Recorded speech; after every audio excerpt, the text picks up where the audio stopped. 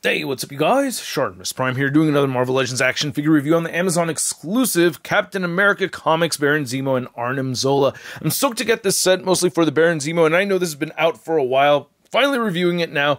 But yeah, this Heinrich Zemo right here, I really wanted this one. Eh, I guess I could use an upgrade. We'll see. Anyway, on the side, you can see Zemo over there. On the back, you can see both characters, different images. And then you can see there's a read up over here. If you want to read it, go ahead and pause it right now. Uh, same image of Arnim Zola on this side, though, as we see on this. But over here, it's the same image as what we'd seen over there. For some reason, I thought this was different. No, not damn it, you dummy, Shartimus. Anyway, you get a Hydra logo on the top. Not much more at the bottom, so let's get to it and crack this thing open. And if you're trying to get your other Marvel Legends, you can do so. Big, big, big. Get your big badass toys at bigbadtoystore.com. Click the link in the description below.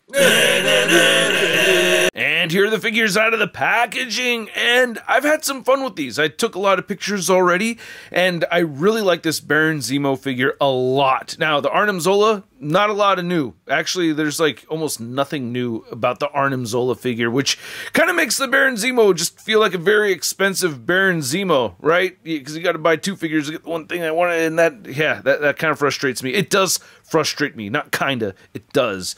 But anyway, not a bad Arnim Zola figure. Let's get a closer look at that figure first, and then we'll get a closer look at Baron Zemo. So yeah, while not a bad figure, this Arnim Zola is probably why it took me so long to actually decide to pick up this two-pack set. It's not different from the last one except for the image that you could see over here and the natural fading from this 2011 purchase. So you can see the arms are faded on this older one that is a bit of a bummer, but it never really bummed me out to the point where I was like, ah, I gotta get a brand new one with better painted arms. You know what I mean? So I did get the other version from the Secret Empire storyline. That at least had a totally different scheme going on. But you can see right here, it's the same exact color scheme. We just have a lot more older Kirby esque image right over here. This is a lot more contemporary. To be honest with you, I do like this face a little bit more. So if anything, I might switch the faces on these and have this one up on display. So it does look cleaner over here. Uh, you can see the bands are painted on the new one, and we don't have the bands painted on the old one. That's a difference. You get kind of a gold color right over here for these little patterns. This is a flat yellow. And then uh, the legs have a slightly different color orange to them. So there's just subtle differences in the coloring over here. I do like that this has more of a metallic sheen than the older version but this is a little bit more of a uniform color throughout, matches the arms better. Well, but this is not the same, so yeah, it's not really that different. As far as accessories go, uh, you do have this headpiece that was unique for the Secret Empire version, so using it on this figure isn't really that helpful. And then you have his controller, which, you know, multicolored and looks different from the first one. The other one was just a gray piece. This one has some different colored buttons on it, so at least this is interesting to look at. But it's not swaying me over to feel like I got a hell of a deal with this new figure. I'm sorry if my lighting looks a little off. It's this early morning daylight coming through that kind of alters the lighting on my review station. But I love this head sculpt. I'm so happy that we got this masked head over here. I don't know why we can't get a Cobra Commander like this. Eventually we will, though, right? And this was part of controversial thing. You know, people are upset. Hey, well, what's the deal? No Cobra Commander, but we could do Baron Zemo. And hey, I'm happy that we got Baron Zemo over here. I love the wrinkles and the sculpt. The nice line detail right over here looks really good. Subtle paint detail underneath the eyes looks great. This crown pops off easier than I'd like, though. it looks hilarious. Uh, you know, making this a Cobra Commander head would be really tricky. You'd have to fill in that gap right there, or you just leave the crown on there, which not, would not look right. But yeah, I really do like this head sculpt a lot. I really think they did a great job with it. And they also gave us the alternate head right over here with the maskless, and oh, that adhesive X stings, doesn't it? Look at that. Oh man. So yeah, it's his own adhesive X right there on his own face, messing them all up. And I love how this came out. They did such a good job with this. Very, very scary looking, as it should be. And then the rest of the body, you can see that we got the collar added to it, but it is the whole Red Skull and Dormammu body mold used over here. So not a lot of new to look at. You can see the belt piece is new along with the skirt piece, so that's cool. I do like the vibrant gold on it.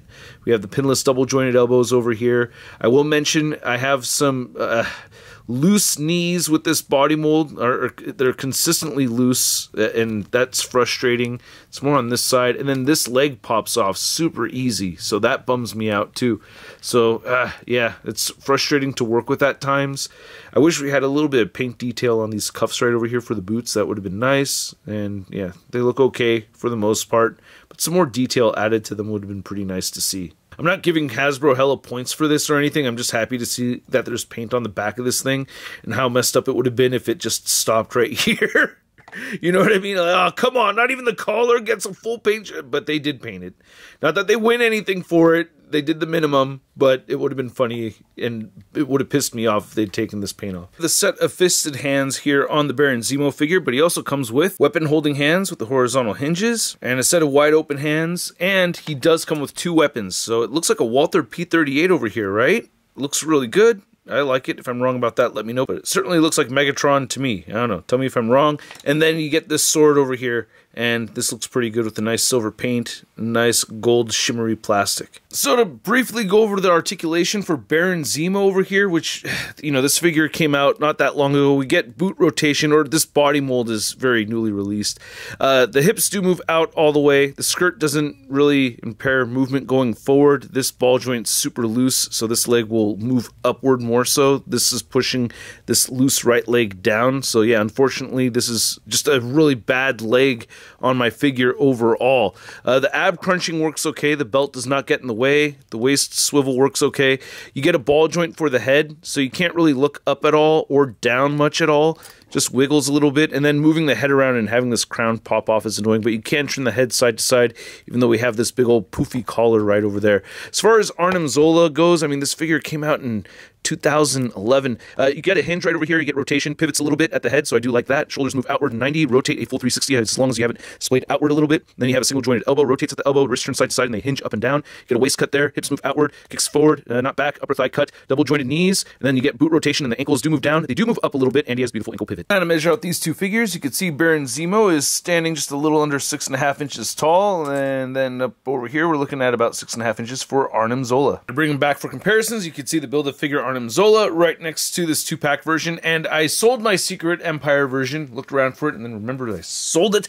Uh, but you can see the controller over here for this older Arnim Zola. It's just a flat gray plastic right over there. So, yeah, I do like the color on that one, but I do like the gold on this one, right? We have some gold over here. This is the flat yellow or glossy yellow, but it stands out more. I don't know. I just feel like overall, visually, this looks clearer to me than this one. You know, shining more light on this, it, it, still stands out a lot more. It just looks better to me. Then here's our Heinrich Zemo next to a couple other Hasbro Baron Zemos. We have the first helmet Zemo, which came in an SDCC pack, if I remember correctly. Then I believe this is the Walgreens, the Walgreens exclusive helmet Zemo. And then for a Heinrich Zemo comparison, you could see our Hasbro Baron Zemo next to our Toy Biz Baron Zemo. And I guess, yeah, I would have rather rather he came with a scepter instead of the sword. I always felt like the sword was a helmet Zemo kind of thing. And then you can see, you know, while I think this is a way better figure than the old Toy Biz figure, I wish we could see the level of paint that we see on these figures on these newer ones. I mean, look at he's got paint on the boots, paint on the cuffs over here, paint throughout all the purple. That would be nice to see. However, ironically, the head doesn't have any paint in those lines when this one does, so at least they put the paint in the right place. And then, since this is technically a Captain America two pack with the on the packaging and all, here's the 20th anniversary Captain America. And then here's Baron Zemo and Arnim Zola next to your average scale figure. We have the Marvel Legends Big Time Letdown Spider Man. Hey Arnim, a quick question about your little controller dealy over there. Uh, when you use that thing, do you, um, am I supposed to look up here or down there? Because uh, eyes are down there, but like the actual eyes up here. So is it like up here or down there? Up here or is it down there? Or is it up here? Or is it down there? And I hope you guys enjoyed this video. If you did, feel free to hit that like button. And if you're new here and you want to see more coming to the channel, which I do have more coming to the channel very soon, go ahead and hit that subscribe button. And I'm going to have a collection video of all my Marvel Legends coming up very soon. The dork room is way cleaner than you guys last saw it, and I do want to show it off.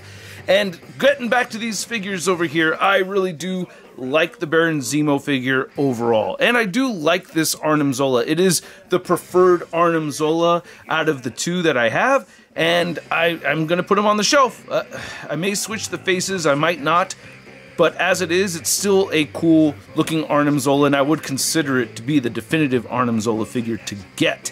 Uh, even though th- there are some things about it that you know, I, I, there are things on the older one that I do prefer, like the touches of gold, and then I do notice some parts of the yellow on the Zola, or yeah, on Arnim not having the right amount of yellow paint on there, so there is that too. Uh, so overall, I did pick this up for the Baron Zemo figure, and the Baron Zemo figure I really do like. However, I do have problems with that right leg. That really bums me out, and I do wish there was a lot more paint on the figure. Am I happy to have it? Yes. I'm not happy that I had to pay 50 bucks to get it though. To be honest with you, I am kind of bummed out because the QC issues on top of the, on top of having to buy another figure to get it. Ah, man, it puts the sud rating for this $50 purchase. I'm to give it it's not too bad. So yeah, uh, for a $50 purchase to get this Zemo figure over here, I'm gonna give this Zemo Arnim 2-pack a Sud rating of, and I'd like to know what you guys think. I wish I was happier about it. I really wish I was, but this is how it went. So let me know what you got to say. Did you have the same QC problems on your Zemo? I want to know. Let me know in the comments section below. If you want to see the latest Marvel news, you can find it all over at marvelousnews.com. And if you want to stay in touch with me on social media, you can find me on Instagram, Twitter, Twitch, TikTok, and on whatnot. And I will catch you guys later. Peace. That's crispy.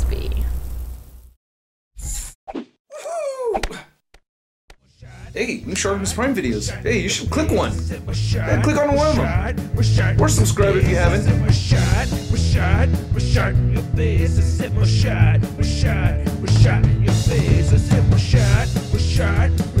your face.